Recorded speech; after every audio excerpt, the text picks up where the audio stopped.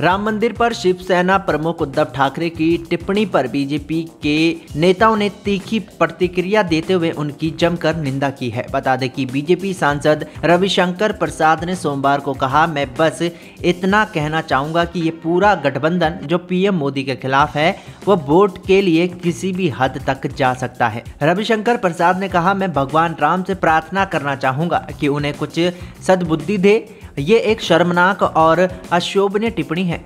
हम इसकी निंदा करते हैं। दरअसल, एक रिपोर्ट के अनुसार महाराष्ट्र के पूर्व मुख्यमंत्री उद्धव ठाकरे ने रविवार को जलगांव में एक जनसभा के दौरान ये टिप्पणी की थी। बता दें कि उद्धव ठाकरे ने कहा कि आने वाले दिनों में राम मंदिर का उद्घाटन होगा। संभावना है कि उद्घाटन के लिए देश भर से कई हिंदुओं को बुलाया जाएगा और समारोह खत्म होने के बाद लोगों के लौटने पर वो गोधरा कांड जैसा कुछ कर सकते हैं। दरअसल, राम मंदिर का उद्घाटन जनवरी 2024 में होने की संभावना है। केंद्रीय मंत्री अनुराग ठाकुर ने भी इस बयान के बाद उद्धव ठाकरे पर निशाना साधा। उन्होंने कहा कि बाला साहेब ने आज क्या सोचा होगा और सत्ता के लालच में उद्धव ठाकरे आज क्या कर रहे हैं? अनुराग ठाकरे ने कहा कि कुछ लोग सत्ता के लालच में अपनी विचारधारा भूल गए हैं। जब सनातन धर्म के बारे में इतनी सारी बातें की गई तो राहुल गांधी और उद्धव ठाकरे ने एक शब्द भी नहीं कहा। बता दें कि गुजरात के गोधरा स्टेशन पर 27 फरवरी 2002 को साबरमती एक्सप्रेस से अयोध्या से लौट रहे